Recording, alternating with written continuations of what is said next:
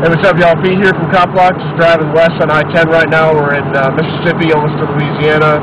Uh, left yesterday from North Carolina. Got my bud Clyde here,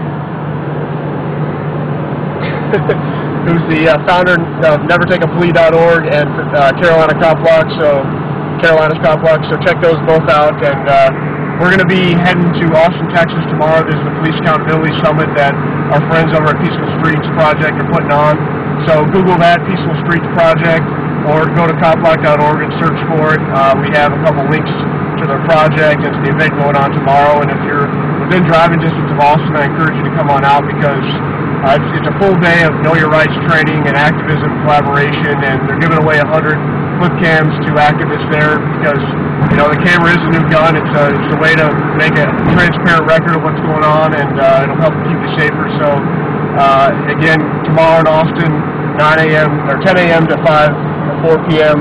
Uh, they have the, the Peaceful Streets Summit. So hope to see a lot of you guys out there. I'm going to uh, look forward to meeting my buddy Clayton G, who's been helping Cop Block for a long while now, making graphics and stuff like that. He just made some today uh, for Ademo's Pledge. If, if, if, if, if you haven't heard yet, he's being caged right now up in Manchester, New Hampshire's Valley Street Jail. You can find out about that if you go to copblock.org slash pledge. Uh, he, he, there's a video on there. There's links to other resources, and uh, you know we hope, hope hopefully he's out in uh, about 38 more days. And uh, but he has a trial uh, that's due to happen when he's in uh, in August. So we'll see what happens with that. He's, he's being threatened with 21 years in a cage for felony wiretapping, and in both of these incidents, incidents, you know, he's just been trying to hold public officials accountable for their actions. So um, check that out, become familiar, and weigh in, share those stories.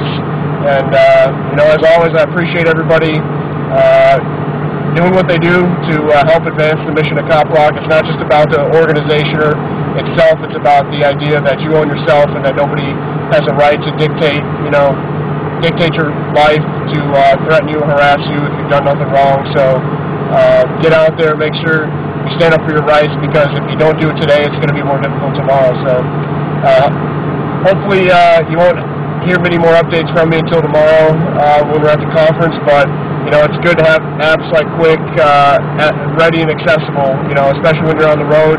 Uh, some of those uh, pirates with badges try to pull you over and threaten you, so um, the, the footage can't be deleted, you know, it's shooting to a server off this device right now, and uh, it'll uh, make you safer in that regard. So uh, anyway, much love, talk to you later.